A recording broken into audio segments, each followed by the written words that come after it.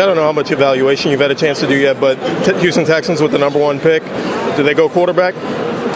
Well, uh, the top 10 picks, six of them need a quarterback. That's why they're there. They all need a quarterback. The question is, are you going to make for the mistake that we've made so often in this league?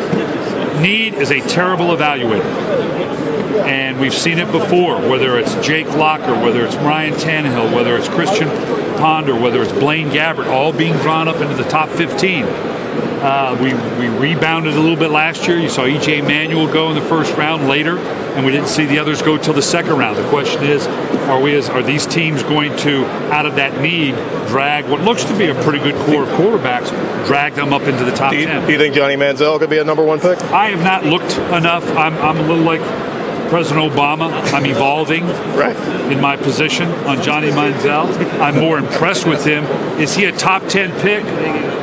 Uh, I'm a long way from that yet. What do you think of Bill, Bill O'Brien? Uh, how he how he'll do taking over that team? Should do a great job. Got enough of an NFL background yet as a head coach. Did a nice job at Penn State. No reason he can't be successful in Houston. You think one, other, one other Lions thing, Stafford, can he be fixed? I mean, that was their their obviously. It's not a matter of fix. You just got to fine tune the game to recognize that we need that explosiveness. We need that level of productivity. We can't have the turnovers.